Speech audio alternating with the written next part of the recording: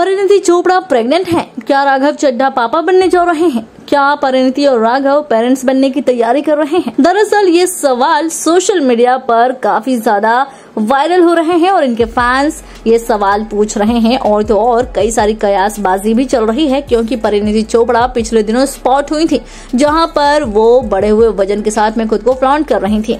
ऐसे में उनकी दो बातों को नोटिस कर लेने के बाद तो लोगों को लगने लग गया है कि परिणति प्रेग्नेंट है और वो मोमी बनने वाली है।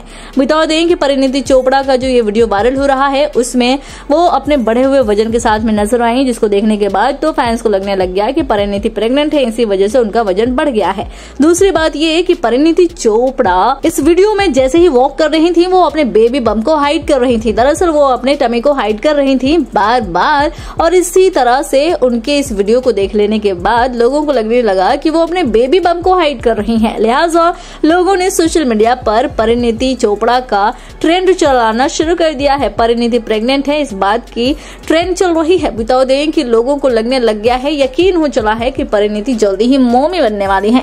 हालाँकि इस बारे में फ़िलहाल परिणति की तरफ़ से कोई भी रिएक्शन नहीं आया है, लेकिन फैंस को इन दो बातों को देख लेने के बाद, यानी कि उनके बढ़े हुए वज़न और उनके बार बार अपने टमी को हाइड करने वाली चीज़ों को देखने के बाद तो लोगों को ये पक्का हो चुका है कि परिणति मोमी बनने वाली हैं और जल्दी ही वो इस बात की अनाउंसमेंट भी कर सकती हैं। वाल अब देखने वाली बात होगी कि आने वाले दिनों में परिणति चोपड़ा की प्रेगनेंसी पर और क्या कुछ अपडेट आता है और परिणति वाकई में प्रेग्नेंट है, इस बारे में कब तक खुलासा होता है।